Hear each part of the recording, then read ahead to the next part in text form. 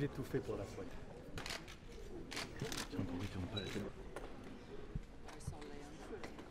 Nous, notre volonté, c'est pour les victimes hein, qui sont là, euh, c'est de comprendre, d'obtenir une condamnation exemplaire, euh, parce que ces éléments, ces agissements sont très graves, extrêmement graves. J'ai de l'insuffisance nitrale, euh, puis de l'insuffisance euh, euh, aortique euh, au grade 2.